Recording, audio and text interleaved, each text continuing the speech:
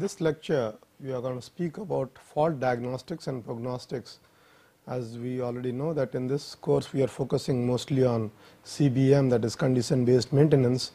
We will see uh, what are the definitions of fault diagnostics and what is prognostics and how do we estimate the remaining useful life of a machine because of the fact that you know once we maintain a machine, we would like to see or predict by certain tools how long this machine is going to last before we totally remove it out of service. So, the essential elements of CBM or the prognostics health management cycle are as follows. As you all know, the most important features are the sensors around a machine and then these sensors are going to provide us data which has to be analyzed and all our decision is based on this analysis. But in the modern days CBM, the trend is towards that this sensor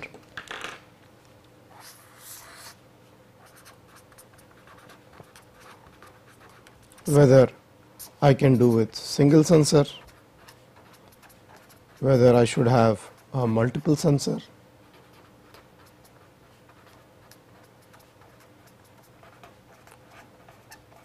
whether the uh, sensors are fault tolerant etc. Because as you know everything in this CBM depends on the data collected by the sensor the to begin with if the sensor itself is faulty and it is providing us wrong data our analysis will be totally wrong. So, the most important feature of what the sensors nowadays are used in CBM are what is known as smart sensors. okay. And topic like sensor fusion, whether a single sensor will do or multiple sensors have to be used and then uh, of course towards the end of this uh, lecture I will give you a short case study on sensor fusion.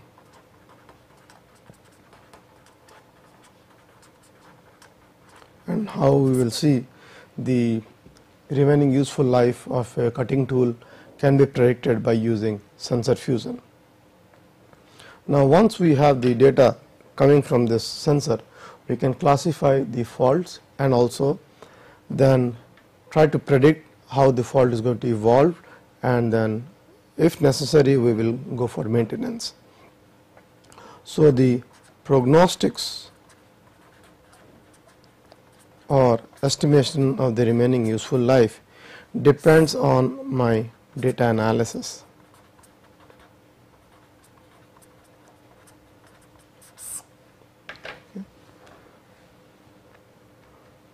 So, before we move to the next sections, I would like to give you a definition of fault diagnostics, which is detection, isolating and identifying an impending or incipient failure condition.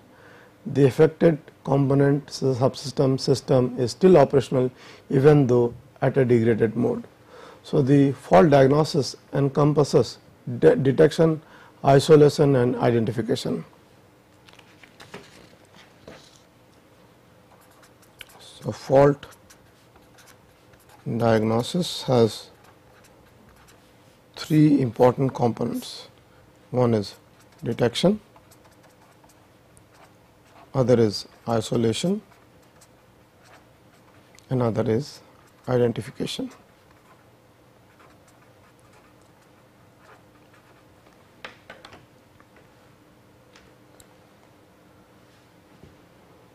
And also and fault diagnosis is also used to detect, isolate and identify a component or system that has ceased to operate. So, in one case we have the machine still running, machine running, in another case we have machine cease to operate. As I was telling in the last class, you know, CBM is not good for a machine which is not operating. So, we will use mostly CBM for a case when the machine is running. So, to define fault detection, it is known as an abnormal operating condition which is detected and reported. So, this is the definition of fault or failure detection that is an abnormal operating condition which is detected and reported.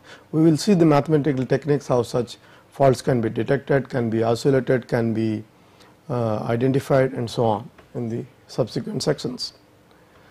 And next is the fault failure isolation. So, determining which component subsystem or system is failing or has failed.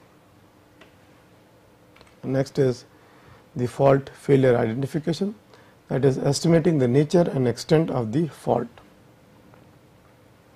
The question is how do we diagnose these faults? Diagnosis traditionally are done by two important uh, methods. One is the model based method, another is the data driven or signal based method. In model based methods, people use certain mathematical models like the, uh, the from the physics of the problem. and model based techniques, they have a mathematical technique known as, for example, I will give you a simple, simple example here. Suppose I have a system, a simple mass spring dashpot system and I have got certain response because of a fault in it. So, I can write the equation of motion of this system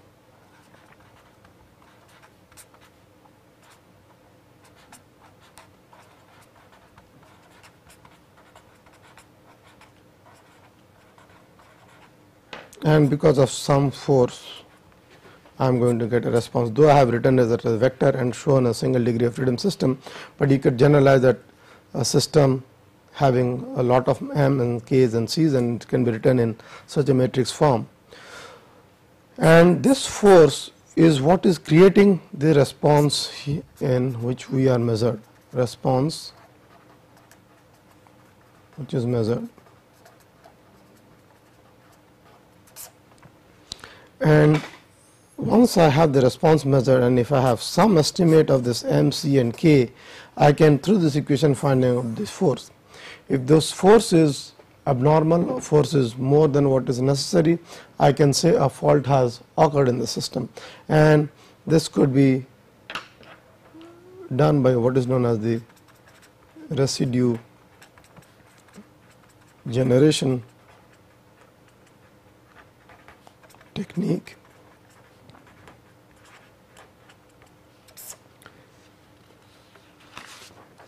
In the model based system, one such method is the residual generation technique.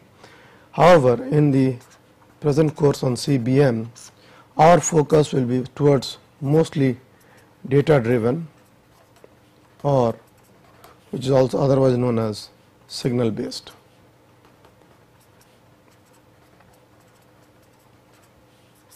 Okay. Because this is very easy to understand in the sense I have a machine, I put a sensor and I get my signals and everything is the total FDI is done based on these signals.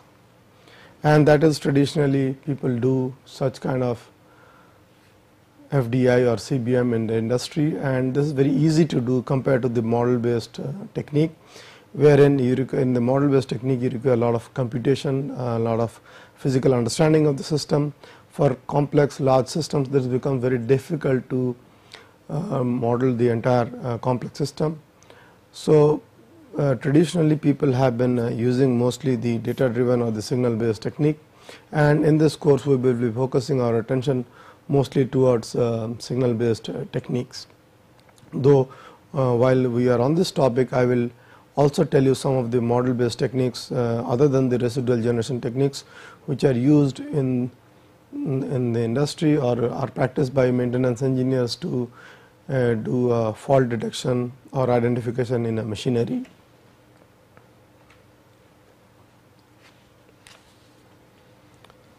Uh, before I uh, go to the model based fault diagnosis, I should mention to you that this data driven fault classification is actually done on uh, done by many methods.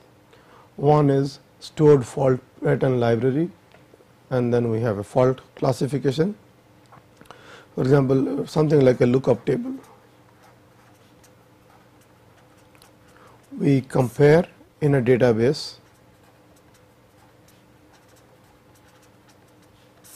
signals already stored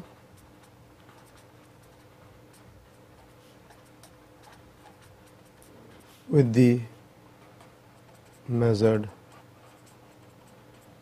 signal. If the deviations are large, we can pretty safely say a fault has occurred.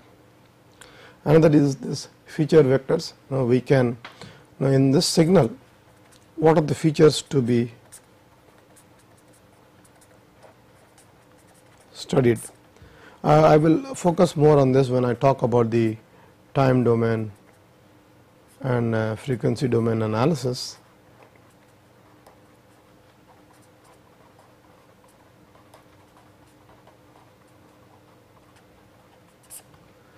But uh, to do fault classification, there are nowadays uh, many techniques. One is the neural network based methods, which is very widely used in the industry, the fuzzy logic and the Bayesian system. And then uh, these are mostly reliability and probability based models and then the faults can be diagnosed. So, in a data driven fault classification, there are uh, techniques wherein this signal are analyzed based on certain neural network, based on fuzzy logic and a decision is made on the fault. Classification could be by fault classification I mean whether fault are of two different types. One is severe one is uh, normal or one is something which we can live with. So such decisions can be made by uh, neural network systems. And I will uh, give you an example as to how this kind of uh, study can be done for different machines. We have a case study for a cutting tool uh, monitoring situation which I am going to tell. And this uh, data diagnostic methods, there are many ways by which this data can be diagnosed. One simple is, say for example, with time, we have a certain signal parameter which we are monitoring. Okay. So, for example, I know with time these are my upper and lower bounds. So, what could be happening that my system parameter etc.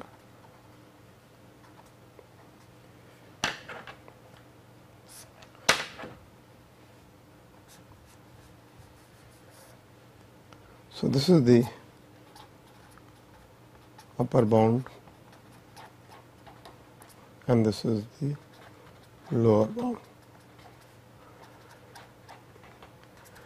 I can set the limits of this upper and lower bound within the plus minus 3 sigma values of the measured parameter and I can be only alarmed that a fault has occurred in such a situation fault has been detected.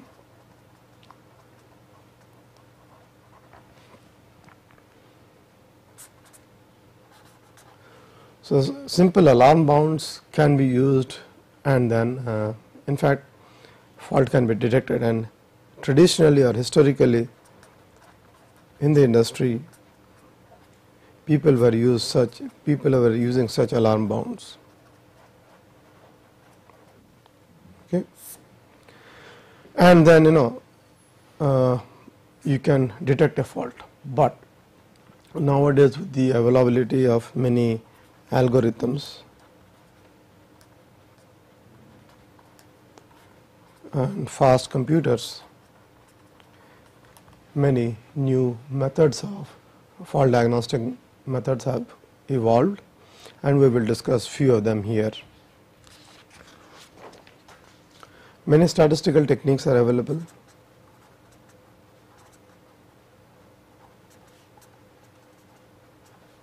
I will give you one simple example of a regression analysis. For example, with time I know that this is the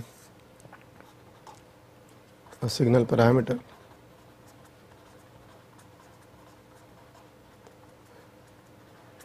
and this is my alarm level. That means if the signal will increase beyond this level, I will be alarmed about the condition of the machinery. For example, what I could do is suppose I have measured with time that these are the condition of my signal. So, statistically what I could do is I could do a simple regression analysis and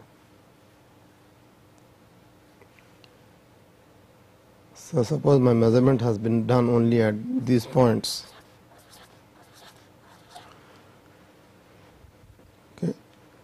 Looking at the past data and taking the present data, I could do a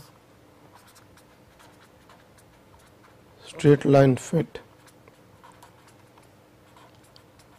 where you know y is equal to mx plus c is the equation to this curve here. This is y and this is x. Okay? But this is a single component I could have um, multiple coefficient.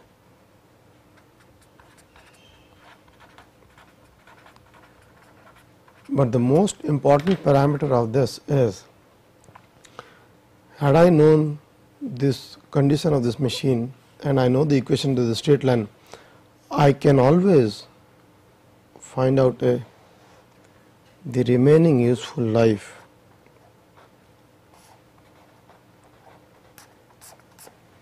from the past data and this has been also known as what is known as the trend analysis in the industry. That means looking at the past data, measuring the present data I can come up with a regression and an estimate when this machine will have a failure. So, there are many software available with lot of database where this kind of data are stored. People do simple regression analysis and can predict the failures. And even in an industry, if this kind of measurements are done, this is going to uh, give us a lead time before I do my maintenance so that I know the remaining useful life. So, I have this kind of a lead time before the failure occurs to take corrective measures. I could perhaps now you know, because of this trend I could increase my maintenance activity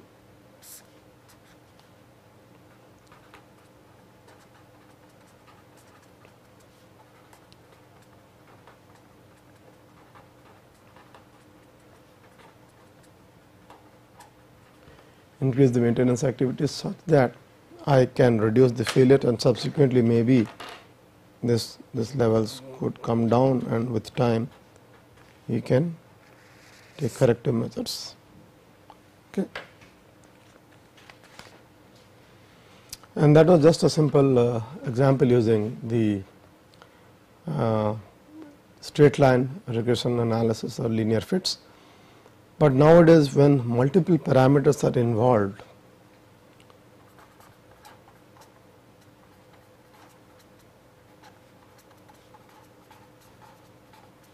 it becomes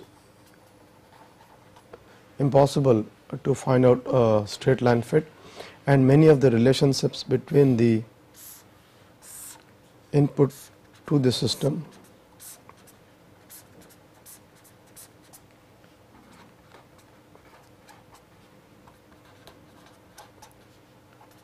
system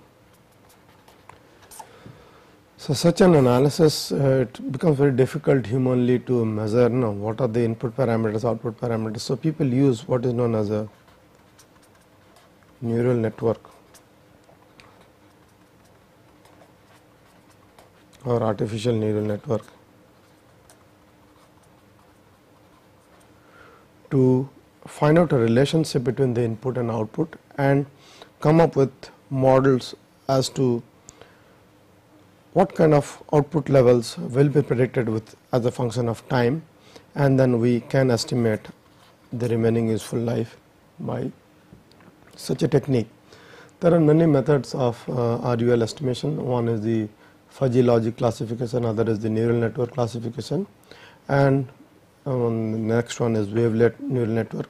In this course we will not be focusing into more, in more on model based fault diagnostics or using neural network and other tools, but mostly since it is a very basic course on machinery fault diagnostics and signal processing, we will be mostly spending our time on the fault detection through the looking at the alarm levels, looking at the past history, looking at the lookup tables, looking at the historical data and then try to correlate the fault condition with the present signature and that is what we are going to focus in this course.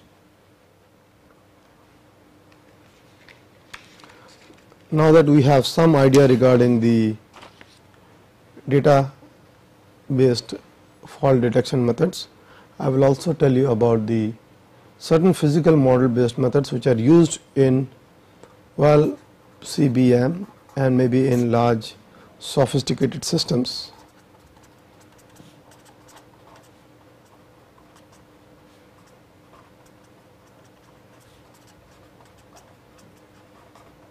For example, an Airbus A380 there are many many systems. It is a very very complex systems. And what kind of fault detection strategy is to be used. So, this could be a combination of data driven and also a model based.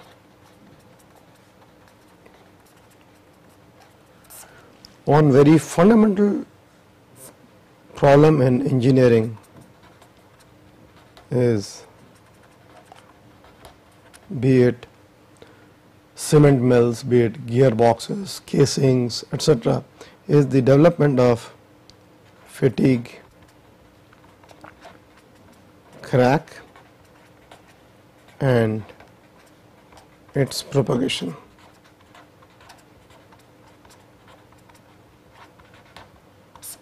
So, once a crack has developed on a machinery component,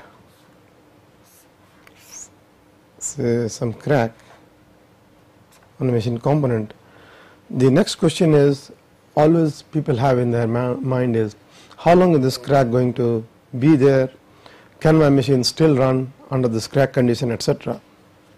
And the most important equation to this is this crack growth parameter with the number of cycles of operation.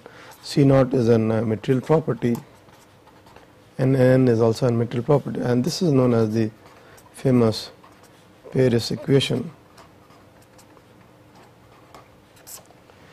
From such an equation we can always estimate the this is the crack length or dimension for crack. This is the number of cycles. This is the material property. This is the stress intensity level. And this is again a material property. We can decide on how many number of cycles this machine can be loaded before a crack grows from an initial length to a final length and then once n is estimated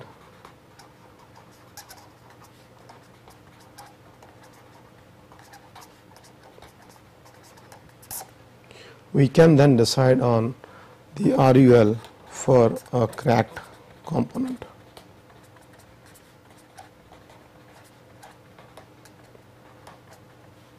Okay. This being a basic course, I will not go into details of all this because this will require uh, lecture on fatigue failure and fatigue uh, mechan fracture mechanics. But I will just want to mention to you that such techniques are available for the crack growth development and then once we know the final crack length which our machine can be subjected to we can decide and we can estimate the number of loading cycles and thus know the time remaining useful life of the machine. Another very important model based techniques which people use is the FEA. So, FEA has been used in uh, model based diagnostics.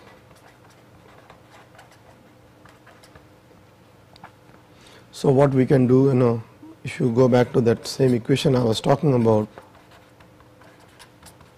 simple FEA model of the system can be developed and this force can be estimated and then the model based fault diagnostic procedure or strategy can be developed for the fault detection. Now, once we know have an idea regarding the fault detection, fault diagnostics, fault um, isolation, identification and once we have understood our system the most important parameter is the RUL and what is actually known as the fault prognostics.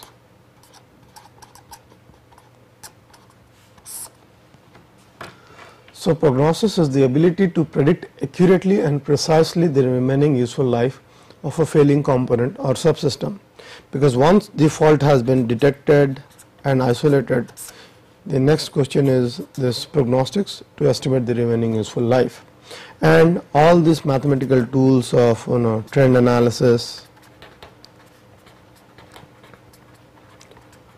artificial neural network etc. could be used to predict RUL. Okay. Now, with this what I would like to do is I will show you an example as to how this model based or uh, data driven tech based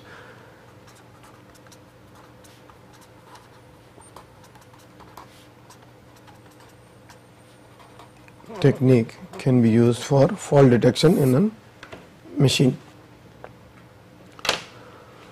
So, we are going to talk about uh, tool wear monitoring case study. In fact, uh, this was the project which we did in IIT about a decade ago and this was uh, sponsored by the Department of Information Technology here. Uh, this project was to estimate the effect of multiple sensor based fusion using neural network to determine the useful life of a single point cutting tool. In fact, in this example, I mean, uh, this work has actually been published by the in the Journal of Mechanical Systems Signal Processing. And the details of this could be found in that reference. But here let me tell you what this tool condition monitoring is about. We have a face milling operation being done on a machine we used uh, two cases or work material, one was the steel and another was the aluminum. Uh, there were no cutting fluid used, it was a dry cutting condition. There was a single cutting tool in this insert and the cutting speed approximately was at uh, 140 meters per minute or 557 rpm of the spindle feed and depth of cut were maintained less and the approximate tool wear was 75 in such a condition this instrument or this uh, milling machine was instrumented with a cutting tool force dynamometer, was instrumented with the uh, acoustic emission sensor, with a vibration sensor, with a microphone, etc. And also the current driving um, current being supplied to the spindle motor was also monitored. So, I will show you this current which was being supplied to the spindle motor was measured using an Hall effect sensor because this had a variable frequency drive and one this RPM was 557 RPM the, it corresponded to a frequency of 18.56 hertz and if you look at the current which is being measured by the Hall effect sensor uh, which is driving the spindle motor you will see this current to be a sinusoidal signal and then a single frequency is shown in this current. Next is when we try to mill uh, aluminum with dry cutting conditions and try to measure the vibration, the cutting force and also the current and current also gets modulated because the load on the spindle motor and then you can see the side bands of the current. I will not go into details but these are the features which could be extracted from this signals around this machining process being current, force and vibration. And once we try to machine steel in the same conditions, the cutting forces, the vibration levels and the current modulations are high and which is reflected in such a plot here. Now with this kind of analysis, we thought that why not we instrument this machine with many more sensors which are more than required like voltage, acoustic emission, vibration, cutting force in x, y, z direction, sound pressure level. And then we have a data acquisition system where when we do a signal processing and feature extraction by certain software and then also try to in the offline stage measure the tool wear condition by a microscope. So, we have the actual conditions and then they have an offline condition of the tool cutting uh, tool wear and then we through artificial neural network we could try to estimate the tool wear and then try to find out at what tool wear and at what uh, what is the remaining useful life of the tool wherein we say a tool fails about you know 500 microns etc. So, how much time it would take for the tool to fail? And this analysis was done through all the sensors uh, taken together in the artificial neural network. Because it would be humanly impossible or physically impossible to have a mathematical uh, model based system wherein all these parameters are taken in and compared to the tool wear rather we thought of using artificial neural network and which is very powerful in the sense it is a black box which relates pretty well to the output level condition and the input level to the system. These experiments were done also the same tool used at a very very higher cutting tool depth of cut to bring in uh, failure quickly and such levels were done in an industry where the the actual the force level the cutting speeds the depth of cut etc were very very high. And then you can see in the same industry how this uh, spindle is being uh, is being uh, monitored through an vibration sensor here through a force sensor uh, sitting on here below, behind the uh, just below the workpiece. And uh, this three phases. You will see the detailed experiment conditions for such an estimation. Cutting speed depth of cut and then uh, and you see there are these three phases which were done in the laboratory and then the severe phases were done in the industry. And these are the typical values of the forces which we are measured in the laboratory force in the x component, y component because this was a milling operation every cut there is to be a force increase and decrease vibration of the spindle in x y z direction and then the sound level and the spindle current. Once we also measure the spindle voltage and current we could multiply them to get the spindle power and these are all functions of time. Once the signals are obtained, we could do some sort of a feature extraction and this is entirely done in a data driven method where we can do a time domain analysis or a frequency domain analysis. But right now we will focus our attention into the signals in the time domain only and typical signal we may do some sort of a feature extraction by having a typical signal we you filter it to remove the high frequency noises and then we have the lobes brought together segmented signal we will remove this and this processes and bring in these loops and then we can again filter it. So, feature can be extracted from the signal lobe filtered signal and then uh, in this condition we try to monitor the machining features being fx in this condition for different conditions of the machining uh, time okay and how the for different conditions these forces varies cutting force fx as a function of time for the, all the different conditions and these are actually estimated by neural network. Similarly for Fy prediction in the laboratory and then prediction in an industry. Similarly for the vibration in the x direction we have again machining time because once we know that the levels are higher or not allowable then we can also always predict the remaining machining time by which this cutting tool has to be replaced and this is for the current again machining time and for different phases. This is for the machining features of the voltage. So, all these features could be extracted and it is up to you uh, or us how to decide on what kind of signal features to extract or use for our data driven uh, fault detection. And this is for the power.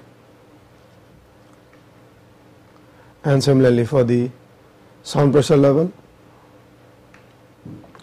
Now, once we have all this data and the features extracted, we now will decide on what to do with this kind of data. So, as I was telling you in the artificial neural network based fault decision system, we have certain amounts of inputs and certain amount of output. In this case, the inputs were the RMS force in x, y direction, the process parameters like the depth of cut, the machining time, uh, cutting speed etc. Uh, spindle rotation and then the spindle power and then we used uh, artificial neural network with these conditions and try to develop a model. And just to predict the force features we took number of data sets and the inputs are fx, fy, vc, s naught we could estimate the tool wear. In the sense certain amount of training were done, test data were used and then validation were also done.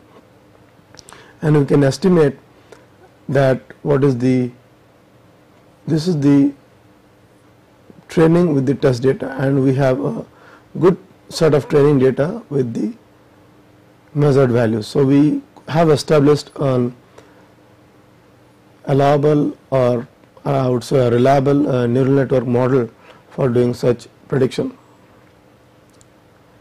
And uh, just to tell you that the filtering was done through uh, Chebyshev fourth order filter and uh, in, in, for the raw signal and the feature space it was a Butterworth third order filter. So, raw signal, filtered signal and then single lobe filtered signal. So, once the filtered features were used we in phase 1, phase 2, phase 3 and these are the cutting forces and this is the current and we could have the training of the neural network by these inputs. So, once we have the laboratory and industry results, I we could estimate the tool wear microns in microns for the laboratory case and for the case of the industry okay and we will know at what levels that this tool is to be replaced only through a, such a model. Again we did again the sensor fusion in sense not relying in just only on fx, fy or current, but taking all of them together okay, and then we are trying to estimate the tool wear for the different cases. So, different parameters have been used and then we could do a better estimation of the model. With unfiltered features somehow sometimes the scatter is more. So, while using artificial neural network for a data driven fault detection techniques, it is always necessary that we do some amount of signal pre-processing before applying such models. And once we do the filtering, you see these variations are much smoother and then we have a better prediction. So, in this ANN based systems developed, different strategies were implemented and force based strategies and for all the five uh, phases give us a prediction error of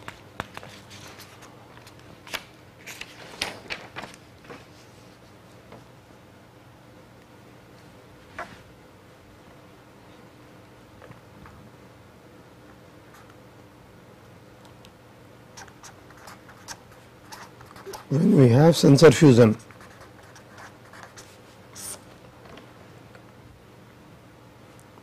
we could have cutting force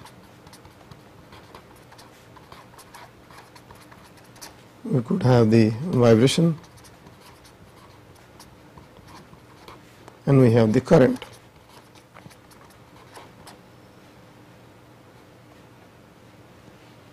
Okay. Now, right in the beginning I had told you that we are also using parameters like acoustic emission.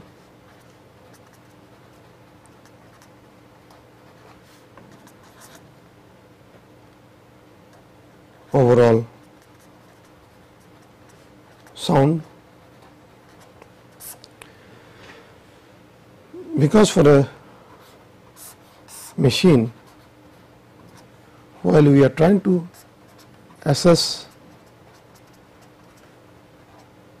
its condition.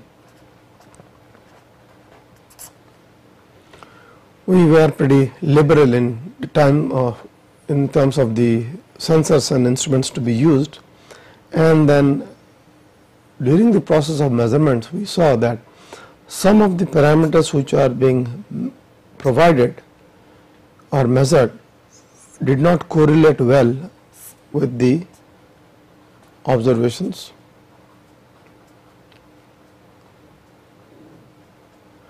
And there were certain random fluctuations.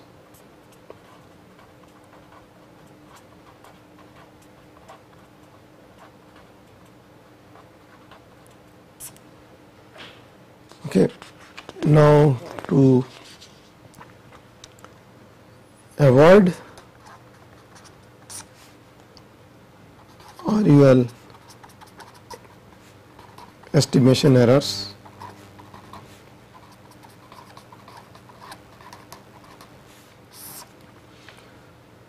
we did couple of things. We did signal feature extraction. In one case there was filtered data uh, it was unfiltered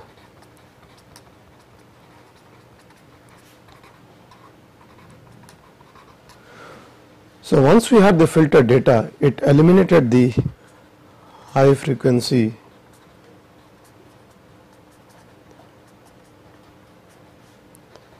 noise. And then we once we had the unfiltered data, the prediction was very good and we had a better prediction.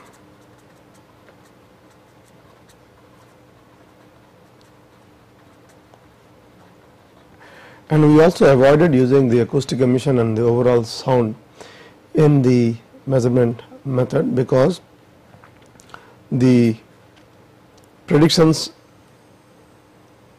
were uh, not up to the mark. In fact, I will go back to one of the slides before.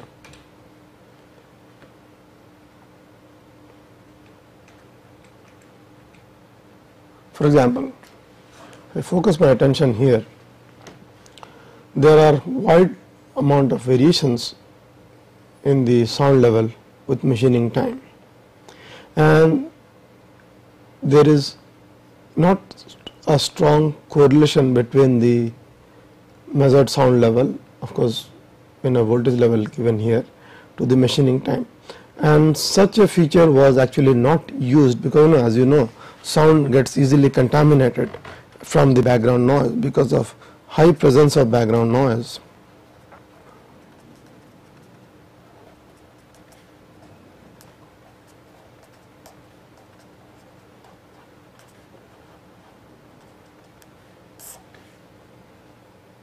SPL contamination occurs.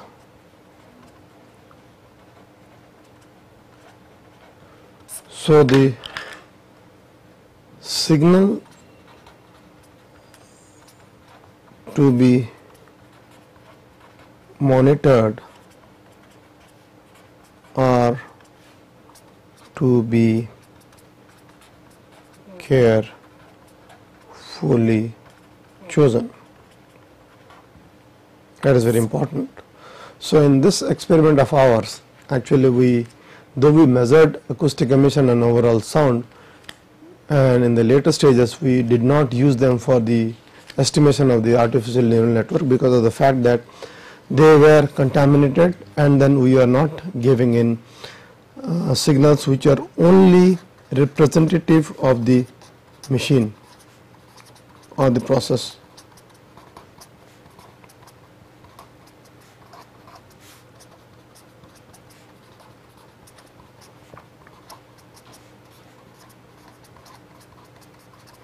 because as I was telling you an ANN model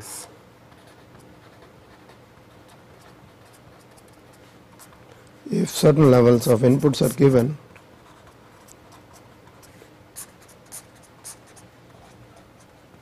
and I obtain an output if certain inputs are very erratic having lot of random errors I would not say that ANN model will not be able to predict the output correctly, but I would like to have a robust model which would eliminate certain random errors. So, in this case we decided not to use the SPL and the acoustic emission signal. And then if you go back to the cases of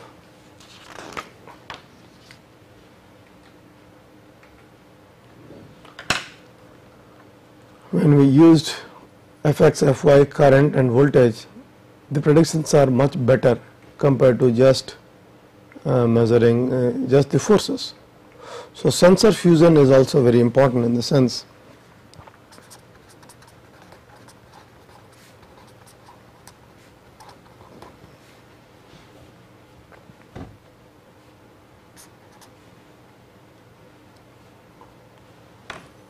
In this example, you will see when the force based strategy tests were for all 5 phases are conducted, the prediction was 8 percent within 8 percent. But only when current based strategies were used, the prediction error was 14 percent which is very high. But when we used sensor fusion using force, current and voltage, the prediction was within 6.5. So, prediction error is reduced. Okay. So, in summary to do fault detection, uh, isolation and identification, two important strategies are used. One is the model based fault detection method, another is the data driven or the signal based detection techno technology. And in the example we saw that sometimes a combination of them is used, sometimes just an uh, feature extraction followed by a data analysis and then using a mathematical tool like a neural network can be used to predict the remaining useful life of the machine component. The example which, which we discussed, we talked about the cutting tool, single point cutting tool and then we decided that this single point cutting tool can have a remaining useful life predicted on the neural network model. And uh, in the case of cutting tool, know, we used took the remaining useful life as uh, 350 micron. Uh, for example, I always get this question posed by my friends in the industry, which is the right time to remove a cutting tool from the machining operation. Because you know sometimes people do this from the worker's experience. The operator, they know they, their experience that the workpiece parameters, the workpiece surface finish is not up to standard. So then they are saying that something is wrong with the cutting tool, it is time to change the cutting tool. Out of experience, out of the machining time, people have developed the strategies. But if such simple neural network based models could be developed, wherein we just monitor the machining parameters or the tool vibration or the cutting tool force, put it in a neural network uh, chip. In fact, nowadays uh, modules are available with uh, programmable uh, functions for neural network, where all this data which has been measured by signals can be put into this chip and this chip is going to give you a periodic warning as to know when this uh, cutting tool is to be replaced and so on. So, uh, fault prognostics or diagnostics has come a long way than the historical data uh, from just an overall alarm level and the today's world uh, we talk about using uh, model based fault detection techniques using artificial neural network using wavelets and other uh, signal processing techniques for doing a more robust detection of faults in uh, systems and of course estimating the remaining useful life. And then uh, in this example uh, which we saw, so a sensor based fusion for filtered data also gives you the best value, okay, unfiltered and filtered. So sensor fusion is another area which is being used for a robust fault detection and identification in machineries. Thank you.